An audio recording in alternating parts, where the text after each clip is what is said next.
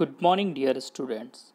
Dear students, you all are familiar that we are going through with our chapter 7, which is about main sectors of Indian economy and main focus is towards the industry. Okay, in this particular chapter, we discussed about the meaning of industrialization in our previous video and the importance of industrialization okay dear student.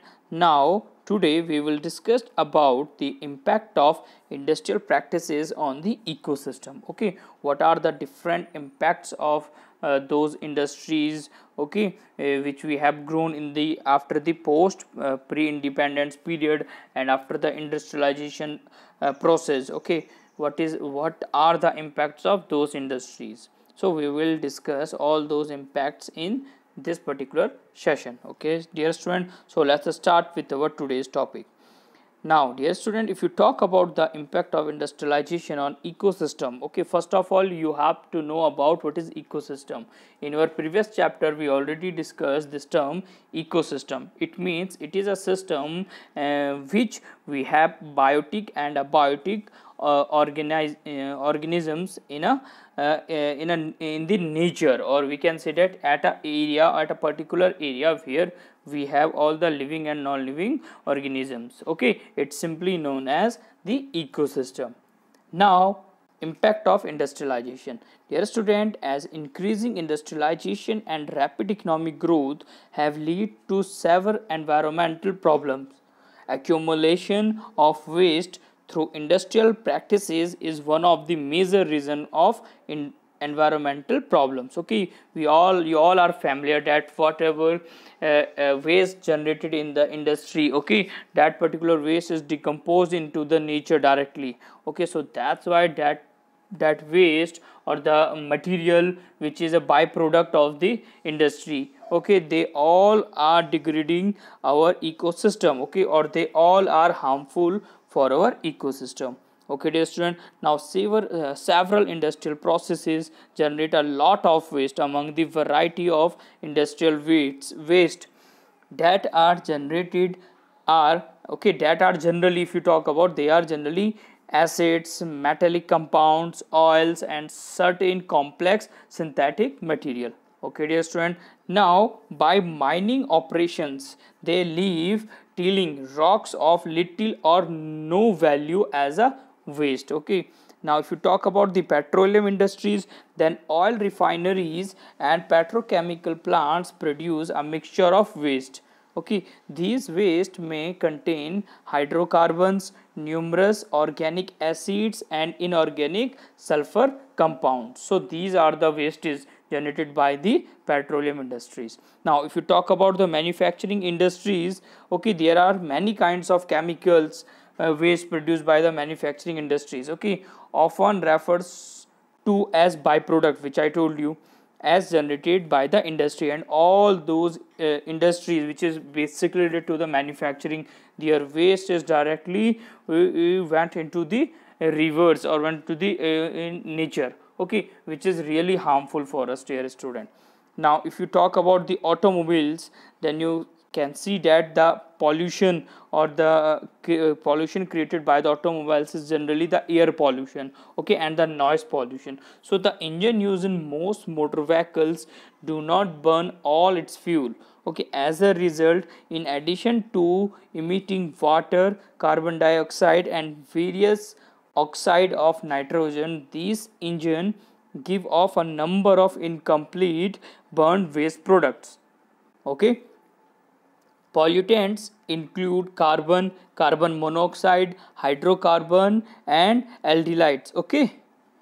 So all these are okay all these are the byproduct of the automobiles which is really harmful for our nature. Okay? Because with the with these different compo compounds or with these all different uh, gases okay this is really harmful for our uh, atmosphere or the, this is also the responsible for uh, global warming. You can see the global warming increases in in, in during the this century or in during mm, the last two decades. So the reason is basically the byproduct or the uh, you can say the uh, or the uh, different chemicals or different uh, gases which is produced by the automobiles. It's simply the reason okay? Now the next part is urbanization. Now if you talk about the urbanization it is also play an important role okay in uh, which impact our ecosystem. Like urbanization is a process of relative growth in a country's urban population accompanied by an even faster increase in the economic political and cultural importances of cities relative to rural area. So urban air pollution is higher in developing countries. Okay urbanization is the reason behind the environmental degradation in a number of ways. Okay because due to urbanization people are migrated from rural area to urban area. And because of increase in the population the demand for vehicles okay the demand for industries okay increases. So because of this there are so many waste product or byproduct of these industries okay which is really harmful for our environment or ecosystem. Okay so that's why urbanization is also playing a role in degrading our uh, ecosystem. Okay now the few points under this particular part is the first one is uh, defacement of land. It means clearing of land for housing industries construction of roads and dams lead to the loss of biological diversity forever and display lakhs of people for their homes and jobs. So this is simply known as defacement of land which is important for the development. Like if you see the example of Tehri Dam then for the construction of Tehri Dam or for the Tehri Dam a huge area of old town which is known as this uh, old Tehri okay the whole uh, uh, the whole system of uh, uh, the whole ecosystem of that particular old city is totally you know uh, totally a loss for our uh, our uh, for our um, nature for our economy because all these are underground uh, uh, under the water. Okay so we can see that for the construction or for the purposes of industries okay and dams we human really doing harm to our nature okay dear student next is Due to increase in population, it is now difficult to meet water requirements through the multiple water supply system. Next is there is a rapid increase in the demand for building material for construction purposes. Okay, so this is also the reason uh, one of the uh, reason of urbanization like for housing purpose for industries purpose okay and for uh, for to make for construction of uh, buildings. Okay you need lot of raw material. And for dot that raw material okay you exploit the nature. So that's why this play a role in in degradation of the ecosystem. Next is excessive use of natural resources have considerable damage the ecosystem. Okay the next point is deforestation. You all are familiar with this particular point which is known as deforestation. Deforestation refers to the removal or destruction of the forest cover by an area. There are many causes responsible for deforestation the first one is constructing dams has result in erosion of more and more river channels and land on both side of various rivers okay? Next is forest wood is also used for cooking lighting and heating purposes okay? So that's why deforestation also play an important role in degrading the ecosystem. Next is many industries are based on forest. For example paper furniture furniture plywood uh, drugs etc are based on forest. So that's why we are destructing okay we are uh, we are uh, damaging our ecosystem okay by extracting all those from the nature. Next part is effect of deforestation okay now what are what are the effects of deforestation? The first one is deforestation helps to maintain the temperature at a lower level and prevent it from rising. So deforestation leads to a rise in temperature. Okay because of def uh, deforestation we cut lot of tree and when trees are not present when trees are not there then it simply rise the temperature of the planet earth because of lack of plants and trees.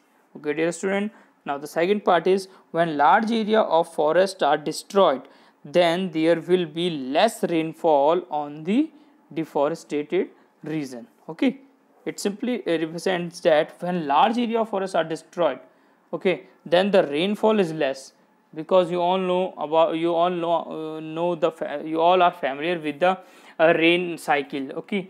Rainwater cycle. So for that particular rainwater cycle for the evaporation of water vapor we must need the forest. So because of the lack of forest rainfall is really less. Okay? Now deforestation causes soil erosion. Okay? Because all the soil were held by the roots of the trees and plant.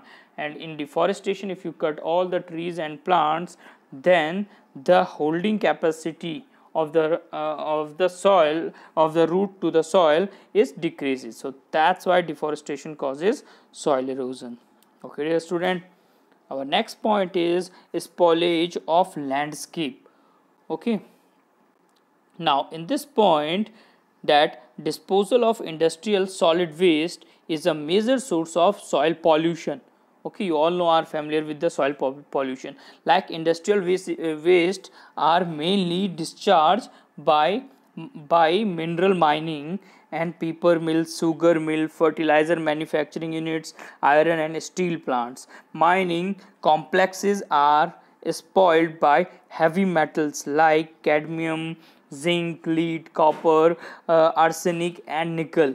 Okay not only industries households to contribute a large amount of solid rubbish in the form of domestic waste like food food scraps vegetable remains okay packing material paper ash plastic etc so these waste spoil the landscape and also reduces the area on which children can play.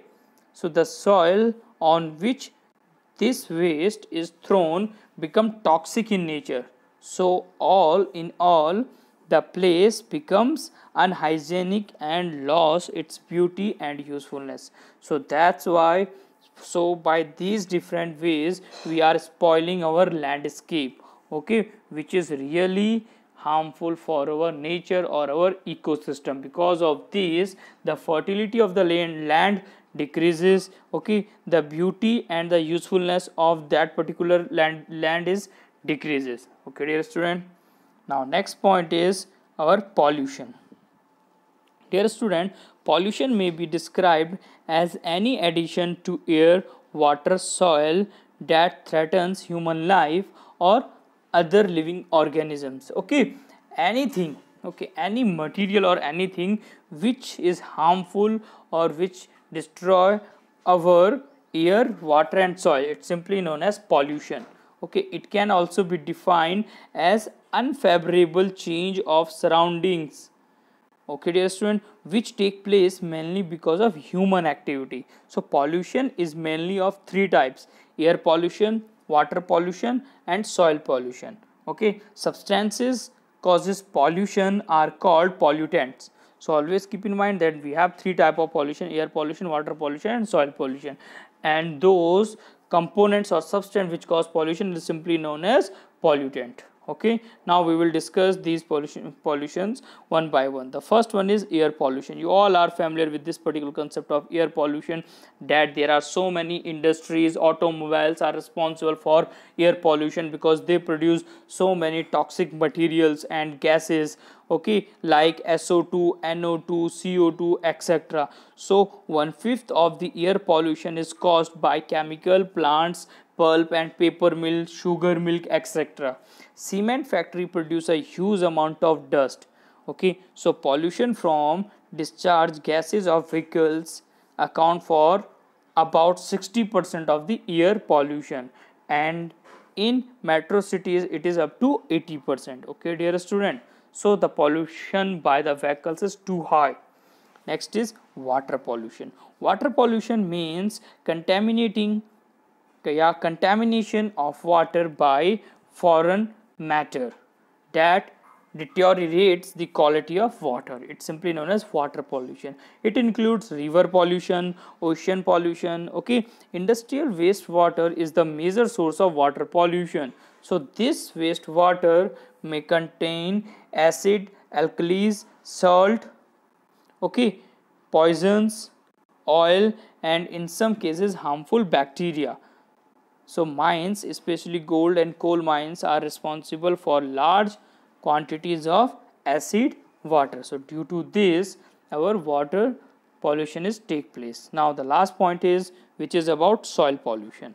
Okay dear student now if you talk about soil pollution then soil pollution usually result from the disposal of solid waste or semi solid waste in agriculture practices industrial processes and in sanitary habits.